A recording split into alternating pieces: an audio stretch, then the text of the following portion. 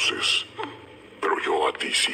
¿No les ha pasado que ustedes van al cine nada más para pasar el rato o porque una película simplemente les llamó la atención pero en realidad no esperaban nada de ella? Pues en este mundillo tenemos una larga lista de estas, así que sí hay para escoger, por lo que hoy te traigo el top 5 películas que superaron las expectativas. Para hacer esta lista básicamente nos enfocamos en el recibimiento que tuvieron por parte del público. Pero si piensas que nos falta alguna o crees que alguna de las que seleccionamos no debe de estar, no olvides hacérmelo saber en los comentarios. Número 5, Saw. Los que no aprecian su vida no merecen su vida.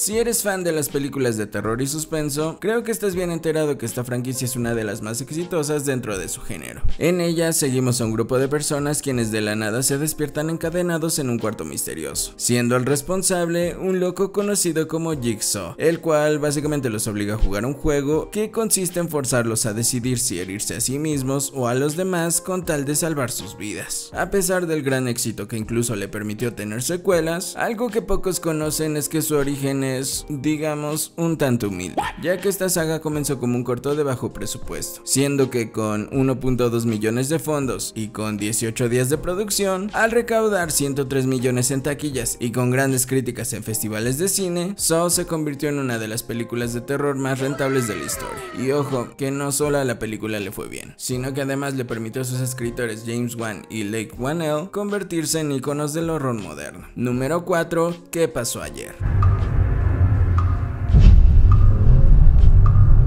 Si bien en un inicio todos consideraban esta como una película más de comedia para adultos, la realidad es que esta terminó convirtiéndose en una de esas películas que todos recordamos y disfrutamos. La historia se centra en un grupo de amigos quienes debido a que uno de ellos se iba a casar, deciden organizarle su despedida de soltero en Las Vegas, una que gracias al abuso de sustancias terminaría saliéndose de control. Tanto así que a la mañana siguiente el grupo se da cuenta que el novio se encuentra desaparecido, iniciando entonces toda una aventura por Las Vegas tratando de recordar todo lo que hicieron durante la noche para ver si así pueden encontrar a su amigo. Es difícil no envolverte con su historia ya que conforme va avanzando, cada escena te da pistas para completar este rompecabezas. Uno que, combinado con el gran humor de los personajes, le valió un éxito en taquilla de 469 millones con respecto a los 35 que costó. Algo que, para bien o para mal, le dio luz verde a los productores para entregarnos dos secuelas más. ¡Ya valió madre! Número 3. Huye. En una época en la que las películas de terror eran una más mala que la otra,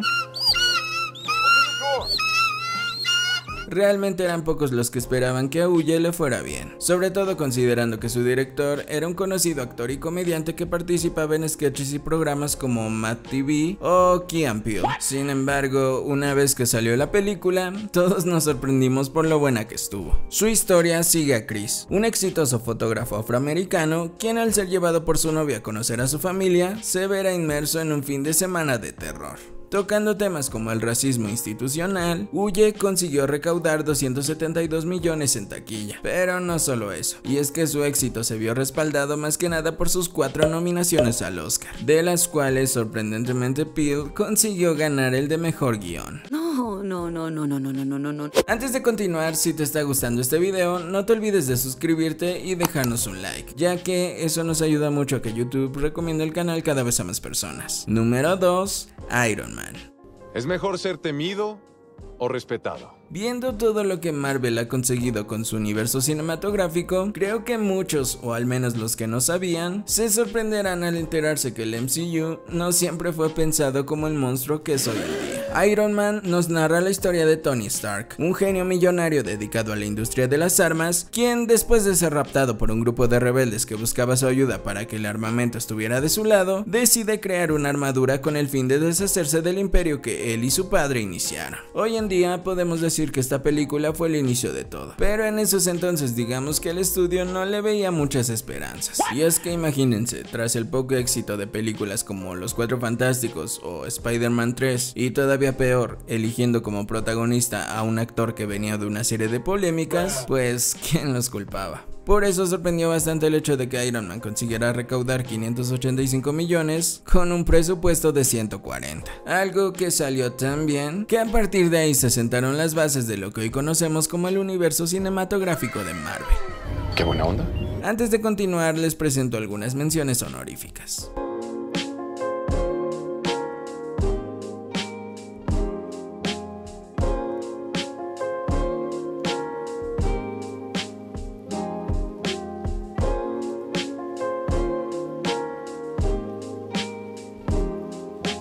Número 1. Star Wars.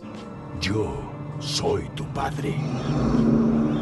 Creo que de esta sí, alguien que no conoce se sorprenderá bastante al enterarse que a esta franquicia no se le veía el potencial que terminó obteniendo. Y es que al competir en su época con otros blockbusters, solo 40 cines se animaron a proyectar. Sin embargo, gracias a que muchas personas querían verla, estos mismos se vieron obligados a retractarse y ampliar la distribución. Tal fue su éxito que el reunir 503 millones con un presupuesto de solo 11 le permitió a George Lucas comenzar a ampliar su universo, desde múltiples secuelas, precuelas, juguetes, videojuegos y más. Y es que no solo a él le fue bien, ya que al ser una película multipremiada, incluso sus protagonistas consiguieron volverse superestrellas de la noche a la mañana. Debes sentir la fuerza a tu alrededor. Y bueno amigos, si les gustó este top, no se olviden de dejar su opinión en los comentarios. Y si gustan pueden ir a checar nuestros otros videos, ya que si no nos siguen, aquí también se hacen resúmenes de películas, series y todo lo que nos topemos. Ahora sí, sin más que decir, chao.